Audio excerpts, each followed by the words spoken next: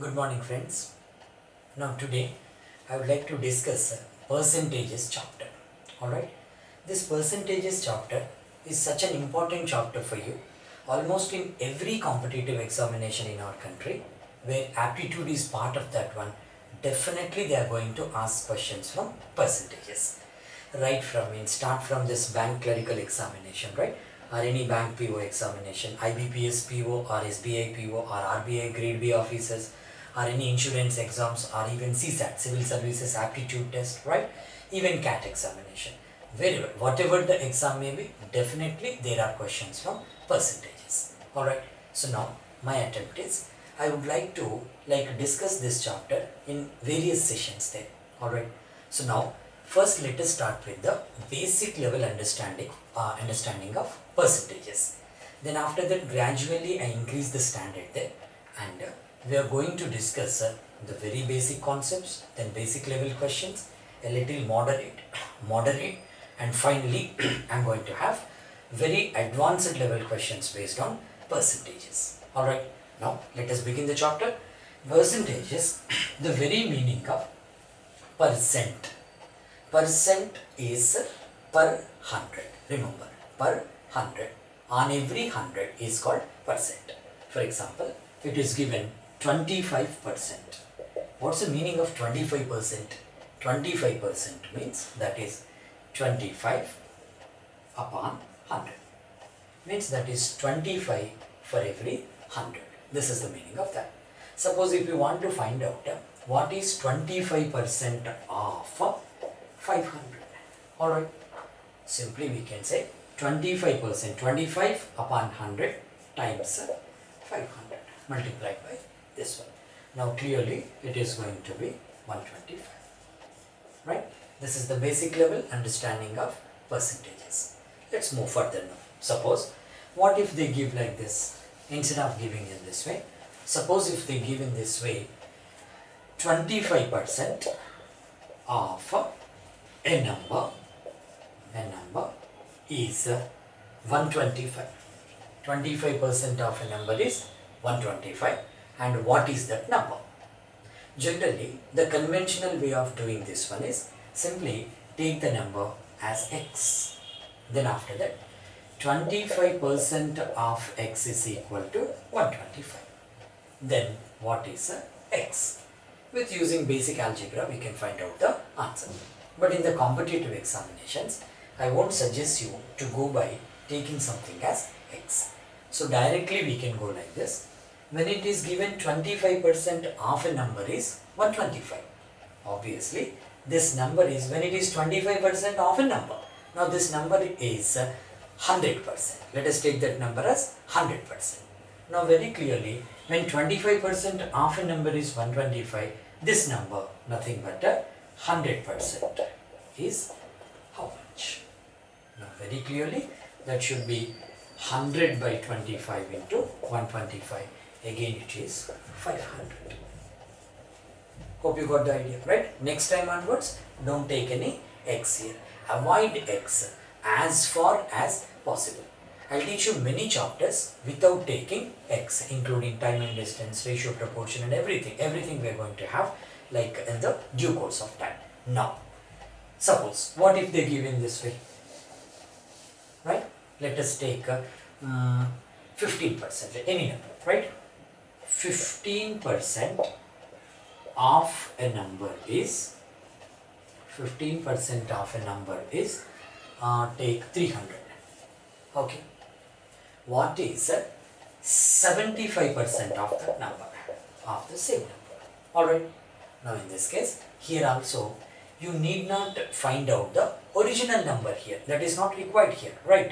The conventional way says that first find out the original number based on this one right after that 75% of that original number is going to be your answer. But I won't suggest you to go in this way. Straight away by using unitary method you can solve the question. Now simply you can say when 15% of a number is 300 obviously 75% of the same number is how much? Now we will use the unitary method here.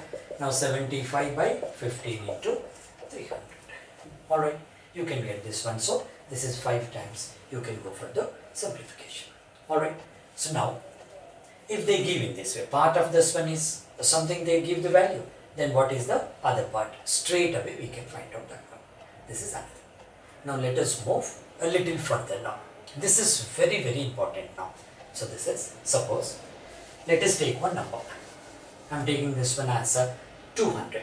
Alright, now 200 is there with me, number. I need to increase this to 200. Increase 200 by 10% is the question. I need to increase uh, 200 by 10%. What is the result of that? The conventional way says in this way, first 200 plus, it should be increased by 10%. So it should be 10% of 200. Now it is 200 plus uh, 10% of 200. 10% of 200 is nothing but 20. So now plus 20, I get the answer as 220.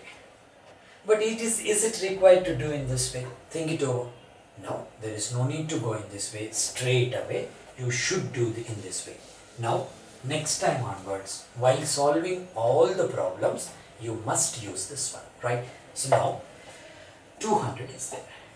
I need to increase it by 10%. Now, directly I can say 200 into multiplication. 200 into because it is going to be increased. 200 into increased by 10%. So 10% is going to be added to this one. Now the fraction becomes, the fraction becomes 200 into 110 by 100. Remember, 110 by 100. What is this 110 actually? 110 is generally when you are talking about one number, that number percentage wise, I should take that number as 100%. Now I am increasing 10% for that one and that should be based on this original number. For that reason, 200 into 110 by 100. You will get the same answer that should be 220. Alright, for example, a number is there. Let us take the same number 200. I want to decrease this one by 10%. In this case, the same way the original number 200 into I want to decrease it by 10%, right? So now this original number I am taking it as 100%. When it is decreased by 10%, the result is 90% only. Now in this case, so 200 into 90 by 100. 90% is nothing but 90 by 100. Now it will become, it is uh, Hope you got the idea, right? For example, I have a number. I have a number. Let us take uh, um, 150, right? increase 150 by 30%. I want to increase this one by 30%. Very obviously, my answer is going to be or else my fraction is, the fraction should be 150 into 30% increased. So that should be 130 by 100. Right? Suppose I want to decrease this one. I want to decrease it by 30% again. Now in this case, uh, 150 into decreasing by 30%. The original is 100%. Now decrease by 30%. It should be 150 into the fraction becomes 70 by 100 only. Now it should be into 70 by 100. You need to go in this way. Got the clarity? Right. This is very very important concept in percentages especially for the beginners. Right. So now, what if the question is like this? Suppose uh, if they give it this way. I have a number 200. Okay. First you need to increase the number by 10%. Right. Again, increase the result by 20% more. 20%. Increase the result by 20%. Right. In this case, how to take it forward? In one step I need to go for this one. The one step fraction is uh, First I have 200 into, right, increased by 10%, 110 by 100. Alright. Then it is again increased by 10 20% into 120 by 100. Suppose if they say after that you need to decrease it by, the result should be decreased by 30%. Now in this case next decreased by 30%. Obviously you can say this one the whole fraction should be multiplied by 30% decreased 70 by 100. This is going to be the result. Hope you got the idea, right? Always do the questions in this way. Many questions can be solved in percentages chapter or profit and loss or in data interpretation. Very important, right? So if you are perfect in uh, simplification, approximation, rounding off, then percentages, averages and ratio proportion, data interpretation is cakewalk for you. I'll give you fantastic shortcuts for data interpretation as well. Let us start with this one, right? So now, after this one, what if they give in this way? Sometimes uh, they won't give the number. They won't give the number. Simply they give that a number first increased by some percentage, again increased by some percentage. What is the net result they ask or what is the effect on the original one. What is the effect on the original one means I need to find out in terms of the percentage or what percent is the result less than or more than that of the original number or else a number is given first increased by some percent after that decreased by some percent after that increased by some percent so they can fabricate anything if this is the case how to go for this one we can obviously do this one even without the number also. Now we will go for this. For example, if the question is like this, first a number is increased by 10%. Okay. Again it is increased by uh, let us say 20%. Now the question is uh, what is the net effect? Net effect in the sense in terms of the percentage we have to go for. Alright. Now net effect, I would go in this way. Now, no need to take the original, no, no need to take the original number in the sense not, uh, original number is not required. Even without that, I can find out the value. This is as simple as this one. Now, first let us go with the conventional method. How it would be, right? For example, I'll take this one. Let the number be 100. Let the number be 100. Alright. So now, when it is 100, first 10% increased, again 20% increased. I would go in this way, 100 into, now you know the technique, 110 by 100 into 120 by 100. Alright. Now simply, after simplification, I can say that is 12 into 11, that is 120 plus 12, 132. Now it is 132. What do you mean by 132? Number 100 has become 132 after the iterations here. Now, when 100 has become 132, increment is there obviously, but I need to find out what percent it is uh, increased. Always remember, when it is increased from 100 to 132, you need to calculate the percentage based on 100. 100 will become the base. Now, now uh, to go for the percentage, how much percentage increment is there? Now, 100 to 132. So, 32 got increased. I'm doing here. Now 32 got uh, increased. 32 increased on 100. Right? I want to show it in terms of percentage. A fraction. Converting a fraction into percentages, you need to multiply that one with 100. Right? Converting percentage to fraction, you need to divide that one with 100. These are the basic things. Anyway, into 100. Alright. Now my answer will become the number, the effect is 32% increment is the effect. Hope you got the idea. But in competitive exams, even you need not do this much work, right? Straight away, simply you can tell the answer, right? So that one, we will go in this way. First they have given 10% increase. Then 20% increase. Alright, in this case what happens? 10% increase means in a shortcut way we can go like this 10%, 10 by 100. Alright, so now I am taking these two zeros. Now 10% increase means this 10, right? This 10, 10 by 100.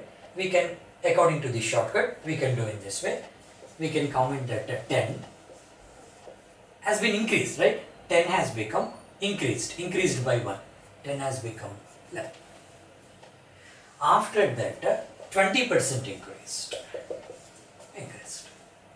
In this case, how to take it forward? 20% is nothing but 20 by 100. Now 10 plus 2 I need to take. Now in this case it is 10 has become 12. Now after multiplication this is 100, 120 plus uh, this is 12. Just now we have done 132. This one. Now 100 has become 132. Obviously 32% increment is there. This is how we need to go for the questions. Hope you got the idea. This is the other point in this one, other point in this one. Now let us go for one time increment, one time decrease. How it would be. Let us use the same numbers now. First uh, 10% uh, increased or else little change you do. First 20% increased, then 10% uh, decreased. What is the net effect? What is the net effect? Now obviously without taking the number as 100 I am doing this question directly directly in this way. Now 20% increased means 20 by 100 alright means 10 has become 12 but after that 10% decrease decreased. When it is decreased again I'll take 10% means 10 by 100 but this time 10% decreased. So 10 is decreased by 1 10 has become 10 minus 1 it is 9 so now again it is after multiplication this is 100 this is 108 over now I can say first this is increased by 20% they give the questions like the, the price of a commodity has been increased by 20% then after that uh, it is being decreased by 10% what is the net effect? So net effect means obviously it is increased by 20% but later even if it is decreased by 10% overall it is increased by 8% only. Increased by 8% this is the other thing. This is the other important point in percentages right?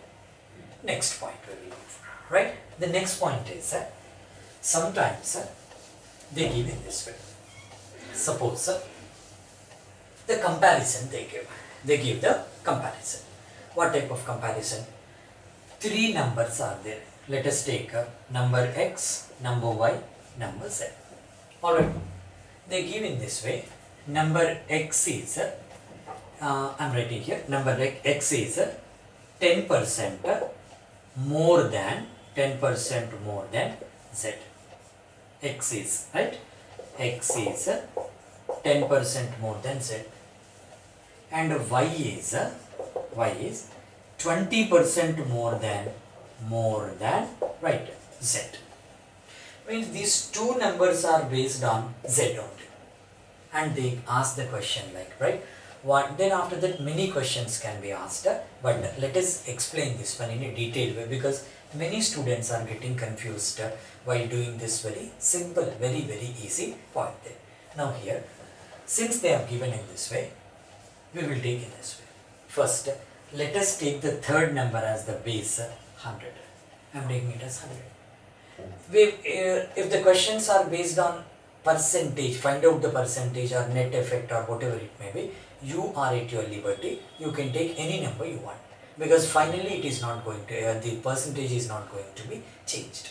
Even if you take this one 100 or 200 or, or 300 correspondingly these values will be changed according to the given numbers there. For that reason it doesn't affect our answer. So now when if I take this one 100 obviously x is 10% more than z. Needless to say that is uh, uh, 110 100 into 110 by 100 now it is. Y is 20% more than z. So now obviously it is 120 they can ask many questions on this one. Now they may ask what percent is x on y? Right? What percent is x on y? If they ask the question in this way what percent is x on y means x on y. Remember this one x on y. I need to show it in terms of percentage. Now the percentage is into 100 alright? Suppose if they ask the question in this way what percent is y on x? Now in this case what 120 by 110 into 100 the result is in terms of percentage. Suppose if they ask the question in this way by what percent by what percent y is more than that of uh, x. Listen carefully because some students are getting confused here. By what percent y is more than that of uh, x? If the question is like this, by what percent uh, y more than that of uh, x is the question. In this type of questions, always remember which should be taken as the base while calculating the percentage. Always remember y more than that. By what percent y more than that of x means x will become the base. Now in this case, y is, if you take this one uh, by numbers, y is uh, uh, 120, 110. 10 points or 10 numbers more than that of uh, x. But I need to show this one 10 as a percentage based on which one x there. Now I should do in this way. Now the difference is uh, 10 by what percent y more than that of x. So divided by x 110 into 100 right. Suppose if they give the same question by what percent x is less than that of y. x is less than that of y.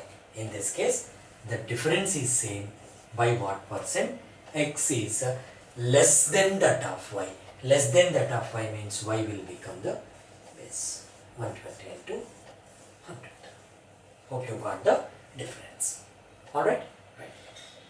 The next question, right? The next question is very very important. They give the questions in this way like uh, A's salary is uh, some percentage more than that of B's salary. By what percent B's salary is less than that of A's, less than that of A's. Now, uh, let us go in this way. Suppose uh, if they give you this way. Now, this question generally like uh, before going for uh, some moderate level questions, let us finish off this question. Suppose if they give in this way, is salary, is salary is 25% more than 25% more than that of base. Okay. Then the question is uh, by what percent? By what percent B's salary, right, is less than that of less than that of A's is the question, right? So now I should go for this one. Let us go with the conventional method first. What's the conventional method? Because in the conventional method only you can understand the concept. After that anyway I'll give you a very good shortcut for this one. So now A's salary is 25 more than that of B means take B's salary as the base. I'm taking this one as 100. Alright. Now A's salary is 25% more than that of B. Now A's salary should be 125. Alright. Now by what percent? B's salary less than that of A. B's salary less than that of A. Now here B's salary